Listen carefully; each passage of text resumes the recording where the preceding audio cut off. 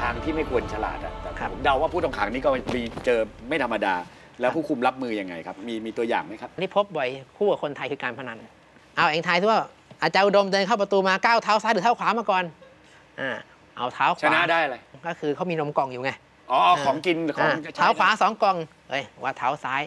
ห้ากล่องวันไหนถ้าผมรู้ผมก็จะกระโดดเข้าพร้อมกันเลยสองข้างอ๋ออ่ามีเศษกระดาษอย่างนี้เอามาตัด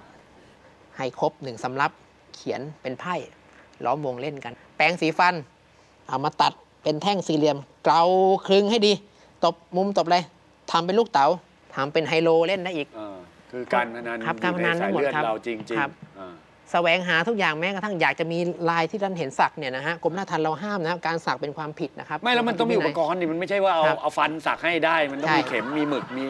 มาเนี่ยไม่หามาจากไหน อันนี้นึกเล่าให้สังคมได้รู้เลยว่าหนึ่งผู้ต้องขังมองแล้วครับมุ้งลวดไว้ยถึงมามุ้งลวดมีอะไรวะเนี่ย มันมีอลูมิเนียมนี่นะอลูมิเนียมเป็นไงเล็กๆทำเข็มสักได้คิดแล้วครับ แล้วหาเศษไม้เราให้มันแบนแล้วประกบเป็นด้ามแล้วก็สักอ๋อครับอยากให้เป็นชาโดว์คือแรงเงาขึ้นเงาก็ให้ละเอียดหน่อยสักสิบเล่มเรียงกันหมึกเข้ามาจากไหนฮะหมึกก็คือหนึ่งการลักลอบนำเข้ามาอ่าไม่ว่าจะเป็นจากภายนอก เช่น ผู้ขังออกไปทำงานสาธารณะเนี่ยลักลอบเอาเข้ามาอ่าหรือเจ้าที่ราชทันบางคนนะฮะอันนี้ขอย้ำบางคนอ่า ที่เห็นแก่ผลประโยชน์เนี่ยเอามาขาย ที่เอามาขายก็มีอ่าซึ่งเราเมื่อจับกลุ่มเนี่ยก็ต้องมีบทลงโทษครับซึ่งเป็นความผิดร้ายแรงนะครับ หรือผู้ต้องขังแอบผลิตเองโดยการใช้อ่าเขมเหลาขมเหลาควันเนี่ยอ่าเขมเหลาควันมันซึ่งมันก็คือครับผงคาร์บอน ใช่ครับ แล้วมีการกลั่นออกมาจนเป็นน้ำหมึกของเขาเนี่ยโเก่งเว้ยทำกันได้เขามีการเหล้ากินไหมแบบในหนัง มีครับเขาก็เอาผลไม้เนี่ยไปหมักเหล้าไปแอบขุดฝังดินไว้แล้วก็หมักจนเป็นเหล้า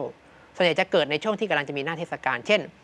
อีก 10 วันจะถึงสงกรานต์อ่า ซึ่งเป็นวันจุดอ๋ยาวอเขาก็อยากฉลองอยากฉลองในนั้นนี้ครับใช่ไหมขนมปังที่ทานกันเนี่ยบางทีเอามาแอบหมักแอบอะไร เพราะฉะนั้นเจ้าที่เราเนี่ยสำคัญที่สุดคือไม่ปล่อยปละละเลย เห็นบอกมีผู้คนที่เป็นวิทยา กรจากครับ ภายนอกที่เข้าไปเป็นทำประโยชน์ให้กับ มีครับ สถานที่แห่งนี้ไหมครับ ไม่ว่าจะเป็นนักร้องศิลปินดาราเนี่ยเขาไปกันหมดแหละ แต่คนที่จะมีอิทธิพลต่อผู้ต้องขังได้มากจริงๆนะอืมก็คือเป็นคนที่เข้าใจเขา โดยที่ด้วยความเชื่อว่าคนคนนี้คือเขาคนที่เข้าใจเขาก็ศิษคืย์เก่าสิทธิ์เก่าครับใช่มีครับแขกรับเชิญเจาะใจผมด้วยใช่ไหม ครับ ก็คือหลังคุณหลังเป็นอดีตพ่อบ้านบ้านพระนครโชคโชนเลยเป็นขาใหญ่ในนั้นด้วย ครับ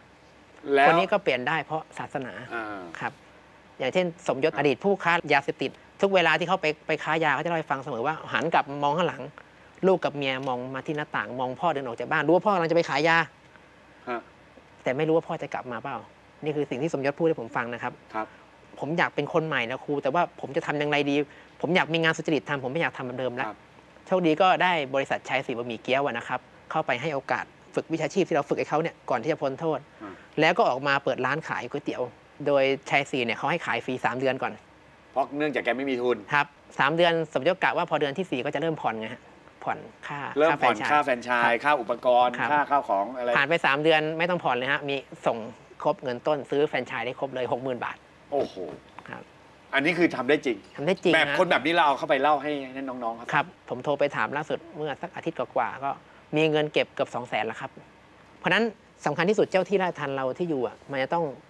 ผู้ขังทุกคนก่อนจะปล่อยตัวต้องตอบให้ได้ว่า ปล่อยตัวไปจะไปทำอะไรอืมต้องมีเป้าหมายชีวิตใครยังไม่มีเป้าหมายชีวิตเนี่ยต้องคิดโปรแกรมพัฒนาแก้ไขเขา ถ้าปล่อยเข้าไปแบบไม่มีเป้าหมายชีวิต เขาจะกลับมากระทำผิดซ้ำได้อีก ถ้ามองแบบคนในนะครับอันนี้คนในที่ได้สัมผัสได้รู้จักได้เป็นเวลาหลายปี ครับ กับคนนอกที่เฮ้ยเปลี่ยนได้จริงป่ะผมควรจะไว้ใจเอ่ออดีตผู้ต้องขังของคุณไหมผมควรจะรับเป็นร่วมงานกับผมไหมหรืออะไรเงี้ยมองถ้าถ้ามีคนถามแบบนี้ คุณครูอยากจะให้วิธีคิดว่ายังไงครับ ครับสิ่งนี้เป็นธรรมชาติของคนเนาะความกลัวนะครับ ครับ ไม่ต้องอะไรมาก โดยเฉพาะสิ่งที่เราไม่รู้จัก ใช่ครับ ผมถามนักโทษว่าเมื่อเช้านี่เองถามเมื่ออ่าเช้าเนี่ยว่า ผ่านไป 10 ปีเราปล่อยตัวไปแล้ว อ่าแล้วมีข่าวว่ามีนักโทษแหกคุกมาแถวบ้านเราเรากลัวไหมกลัวครับทุกคนกลัวหมดทั้งทั้งๆที่ณเวลานี้คุณก็เป็นนักโทษอยู่แต่ถ้าดาบอกว่ามีนักโทษแห่งผมก็กลัวผมก็กลัวครับนักโทษเองก็บอกว่ากลัว กลัวครับ แล้วคนกลับปล่อยกลับไปปุ๊บเนี่ยเขาไปไหนครับเขาก็ไปเข้าห้องน้ำสาธารณะเดียวกับคุณ ไปเที่ยวห้างสรรพสินค้าเดียวกับคุณ ไปเดิน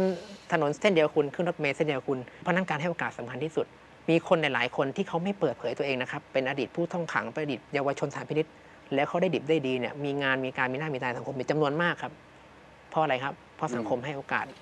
เพราะที่ทีเนี้ยผู้ต้องขังผมจะสอนเสมอนะว่าอย่าโทษว่าสังคมไม่ให้โอกาสนะครับเพราะคุณอยู่ในเรือนจำเนี่ยคุณต้องมีค่าข้าวค่าอาหารต่อหัวต่อคนต่อวันเนี่ยอืมวันละประมาณจริง ๆ 40 กว่าบาท แต่คิดว่า 40 บาทนะครับพี่ดูตีแบบกลมครัๆบสี่สิบหนึ่งคน40 10คน400ร้อยคน4,000พันคนสี่หมื่นหมื่นคนสี่แสนแสนคนสี่ล้าน นักโทษสามแสนวันละสิบสองล้านครับค่าข้าวก็ ประชาชนทุกคนช่วยกันจ่ายให้คุณอคยู่รับ วันละสิบสองล้าน อ่าหนึ่งเดือนสิบสองสามสิบหกสามร้อยหกสิบล้าน อ่าหนึ่งปีมีสิบสองเดือนก็สิบสองคูณสามร้อยหกสิบไป ก็ประมาณสี่พันกว่าล้านครับ เกือบห้าพันล้าน เฉพาะค่าข้าวนะครับ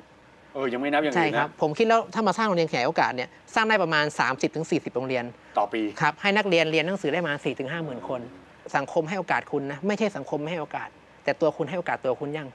คุณพร้อมจะเปลี่ยนตัวคุณยังอ่าหาทุกวันนี้หนึ่งมือซ้ายถือปากกาครับ มือขวาถือกุญแจ มือซ้ายถือปากกาไว้บอร์ดเพื่อเขียนเพื่อสอนเพื่อให้ความรู้เพื่ออบรมถือไม้เพื่ออบรมเขามือขวาถือกุญแจคอยเปิด เข้าเข้าขึ้นไปห้องขังครับคอยลงมาลงมาอ่าเนี่ยครับมันต้องทำอย่างนี้ครับ ความสุขของคุณคืออะไรครับ ถ้าอย่างนั้นผมฟังดูมันก็ชีวิตมันก็เหมือนกับอยู่ท่ามกลาง ถ้าเขาเปลี่ยนได้เราก็ไม่รู้ก็ดี แต่ถ้าเขาเปลี่ยนไม่ได้ คุณต้องอยู่กับความเสี่ยงด้วยนะก็ไม่ใช่ไม่เสี่ยงนะครับความสุขของผมคือผมมีความเชื่อว่าทำงานทุกวันได้บุญทุกวัน